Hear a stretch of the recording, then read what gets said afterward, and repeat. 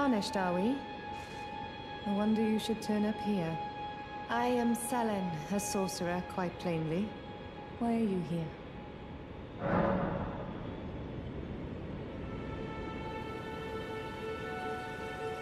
Ah, a yen for glintstone sorceries. I dare say your proclivities are far from ideal. Oh well, perhaps nurture will defy nature, with a bit of luck.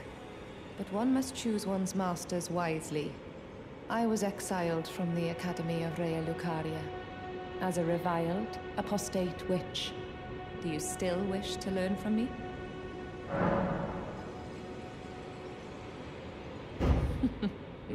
well, you are a piece of work.